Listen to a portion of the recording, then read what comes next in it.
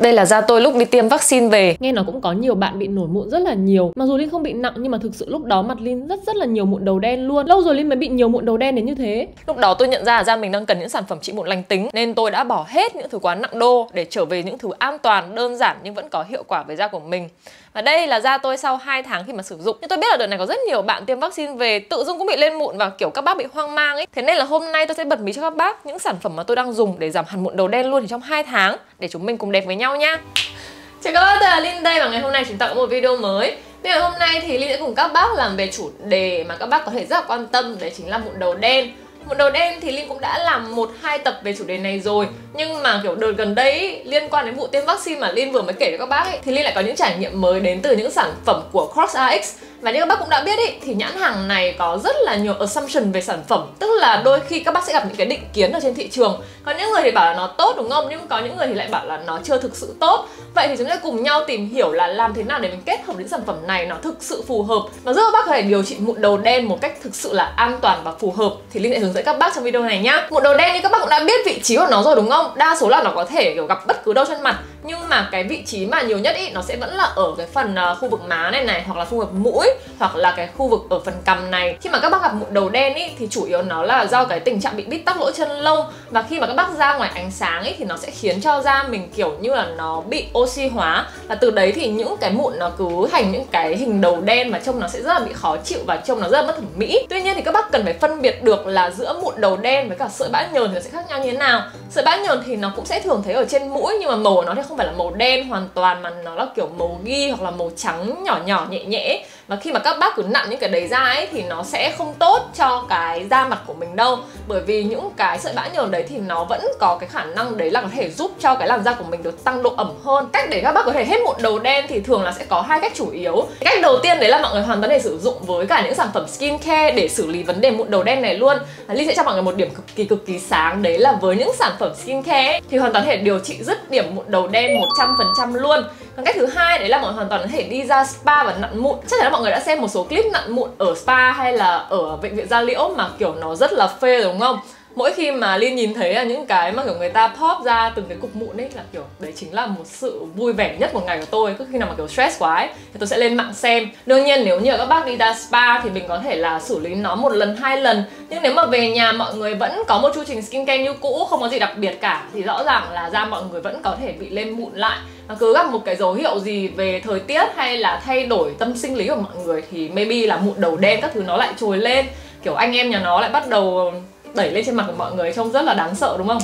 Thế nên là hôm nay Linh sẽ giới thiệu mọi người những sản phẩm mà có thể hỗ trợ cho mọi người Và trong video này thì Linh sẽ kết hợp với cả CosRx để làm cái video này và giới thiệu mọi người những dòng sản phẩm phù hợp cũng như là cách dùng phù hợp ở đây thì mọi người phải xem hết video này và xem kỹ để mọi người có thể tìm hiểu được là đâu mới là cái sản phẩm phù hợp với da mọi người. Ở trong video này cũng sẽ một cái đoạn mà Linh sẽ đọc những cái assumption mà Linh đã hỏi mọi người trên Instagram là mọi người thấy những sản phẩm này như nào và Linh sẽ giải quyết cho mọi người là nếu mà với những vấn đề như vậy thì mọi người nên xử lý làm sao để có thể phù hợp với làn da của mình luôn. Sản phẩm đầu tiên đấy là sản phẩm sữa rửa mặt Low pH Good Morning Gel Cleanser. Đây là một sản phẩm khá là quen thuộc trên thị trường rồi và chắc chắn là các bạn đều biết.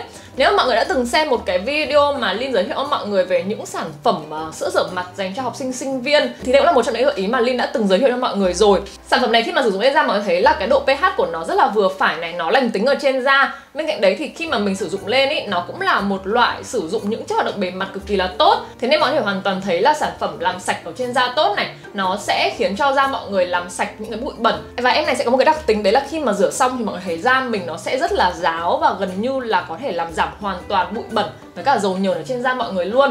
Và đây là một cái em sữa rửa mặt cực kỳ phù hợp với cả những bạn nào mà là làn da hỗn hợp thiên dầu. Linh sẽ giải thích cho mọi người đấy là cái sản phẩm này ấy, nó sẽ phù hợp chủ yếu với những bạn nào là da dầu nhiều. Và khi mà mọi người sử dụng lên da ấy, thì nó cũng có thể giúp cho mọi người hạn chế cái việc mụn đầu đen rất là tốt. Tiếp theo thì nếu mà những bạn nào mà mọi người từ da thường cho tới da khô hay là mọi người ở điều kiện thời tiết mùa đông ấy thì mọi người nên mix cái sản phẩm sữa rửa mặt này với một loại sữa rửa mặt nhẹ dịu khác khi mà mình sử dụng kết hợp cả hai loại sữa rửa mặt này thì nó thể giúp cho cái làn da của mọi người nó được tươi mát mà nó không hề bị căng hay là bị khó chịu. Một cái assumption khá là hay mà các bạn đã nói đấy là sản phẩm sữa rửa mặt này, hồi trước thì em dùng khá là ok và đã dùng lâu rồi nhưng mà đợt này thì thấy mọi người chê nhiều quá.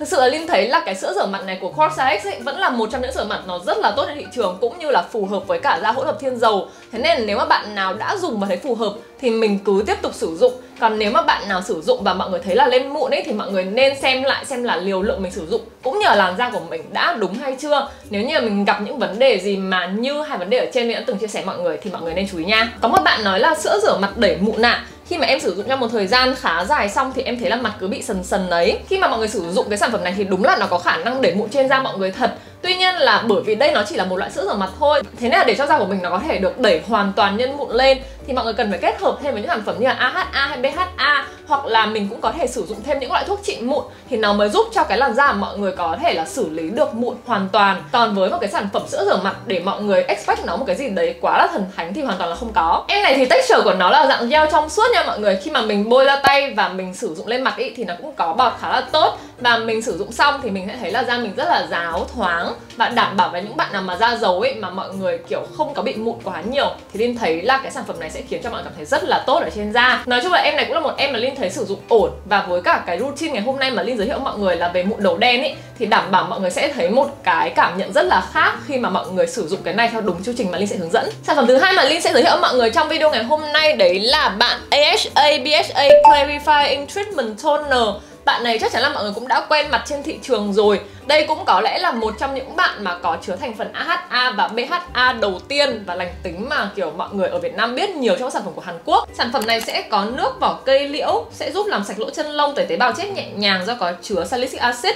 Tiếp theo là nước ép táo chứa AHA tự nhiên giúp dưỡng ẩm cho da, được coi như là một loại BHA lành tính có khả năng làm sạch và điều trị mụn dịu nhẹ. Ở trong sản phẩm này thì nó không chỉ có mỗi BHA không mà còn có chứa cả AHA nữa. Thành phần này nó cũng là một thành phần quan trọng để giúp cho làn da mọi người được sáng hơn và làm giảm mụn đầu đen. Với cái nồng độ của sản phẩm này nó là AHA BHA khoảng 0,1% thì Linh sẽ giới thiệu mọi người đấy là khi mà mọi người kết hợp thêm một sản phẩm BHA đến từ Crocs nữa thì cái chu trình điều trị mụn đầu đen của mọi người nó sẽ hoàn toàn thay đổi luôn. Sản phẩm này của nhà Crocs nó là dạng xịt thế nên Linh thấy là nó cũng không bị hao và mình có thể sử dụng hoàn toàn ở trên da rất là nhẹ dịu hàng ngày luôn.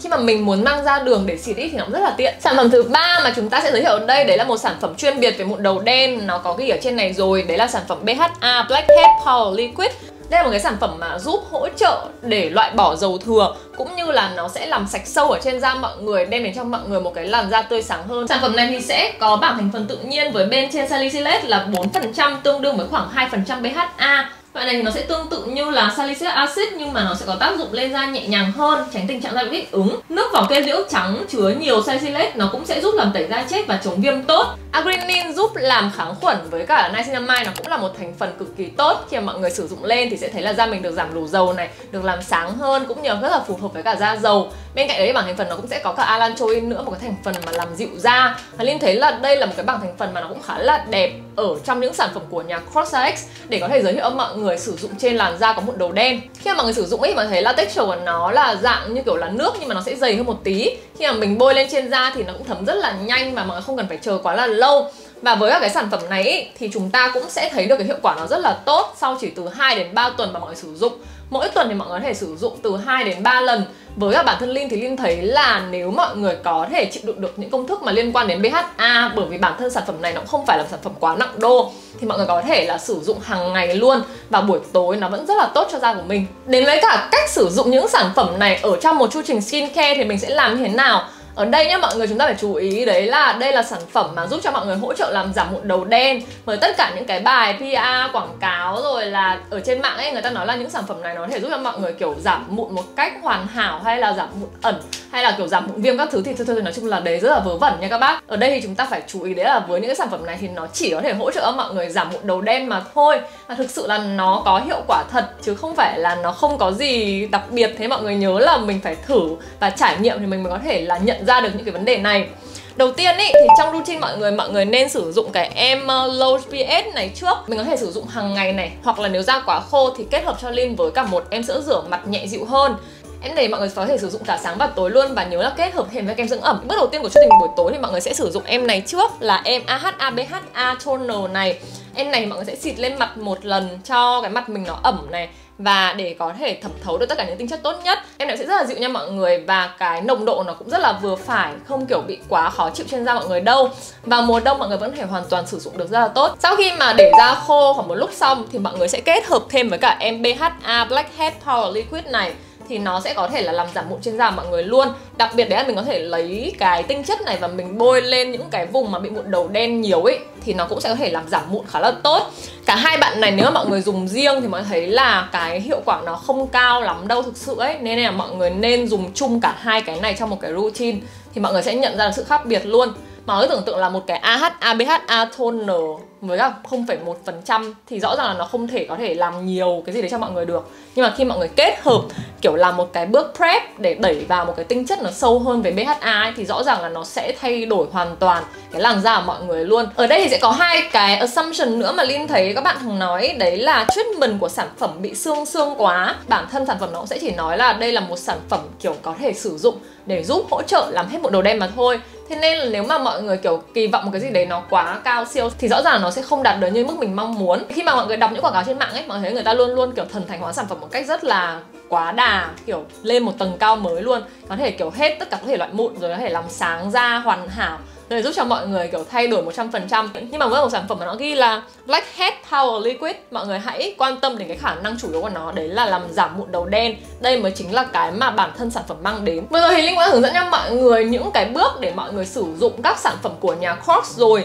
Và đến đoạn tiếp theo này thì chúng ta sẽ còn một cái assumption cuối cùng mà có đến 3 4 bạn cùng nói với Linh. Đấy là sản phẩm này rất là dễ mua, phải hàng fake và khi mà mọi người mua phải hàng fake thì rõ ràng là cái tác dụng ở trên da nó sẽ rất là kém. Thế nên là Linh sẽ cho mọi người một cái địa chỉ uy tín là mọi người có thể lên Crossa X Official Store. Bây giờ thì Cross đã về Việt Nam rồi. Và với những cái sản phẩm này thì mọi người có thể mua chính hãng vào vào ngày 12 tháng 12 ấy thì sẽ có một đợt sale rất là to, giảm tới 40% liền. Mọi người có thể hoàn toàn săn sale tất cả những cái sản phẩm này với mức giá rất là rẻ để trải nghiệm xem là sau 2 tháng thì làn da mọi người có thay đổi kiểu 100% giống như là Linh đã từng thử và thành công hay không. Vừa rồi Linh giới thiệu mọi người một cái chu trình skincare để giúp cho mọi người làm giảm mụn đầu đen với những sản phẩm của Crocs Linh hy vọng rằng sau khi mà mọi người đã nghe Linh giải thích về những cái định kiến của Crocs cũng như là mình trải nghiệm sản phẩm một lần nữa với một cái sự kết hợp mới lạ và cho sản phẩm một cơ hội thì mọi người cũng sẽ nhận được những cái benefit giống như mà Linh đã từng trải nghiệm. Nếu mọi người thích những gì mà Linh đã chia sẻ, mọi người đừng quên để ấn subscribe channel Swatches by Linh Cũng như những ảnh khác của Linh, đấy chính là TikTok, Instagram và Facebook. Ngoài ra thì tôi có một group tên là Mặt Tiền Tốn Tiền. Mọi người vào đấy để tâm sự làm đẹp cùng với chị em. Chúc mọi người một ngày vui vẻ. Bye bye.